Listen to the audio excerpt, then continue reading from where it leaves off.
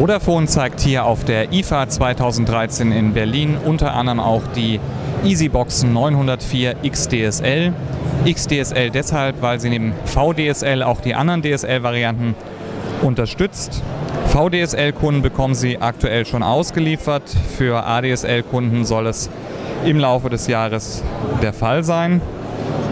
Hier im Display kann ich über Touch mir auch eine Installationshilfe anzeigen lassen, die direkt symbolisiert, wie ich analoge oder ISDN-Endgeräte mit der EasyBox verbinde.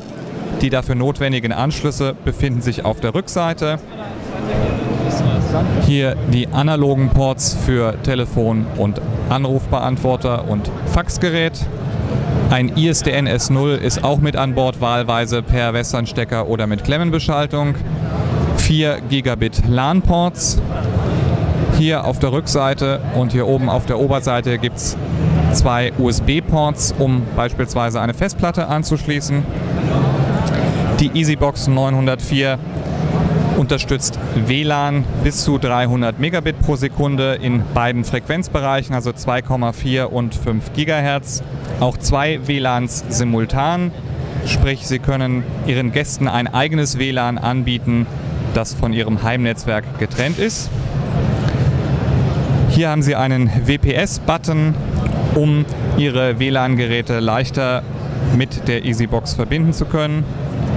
Und auf der gegenüberliegenden Seite befindet sich der SIM-Karten-Slot, wenn Sie ein Surf-Sofort-Paket buchen oder auch für eine UMTS-Fallback-Verbindung, falls der DSL-Anschluss einmal ausfällt, ist in der Box eben auch ein entsprechendes Funkmodul integriert.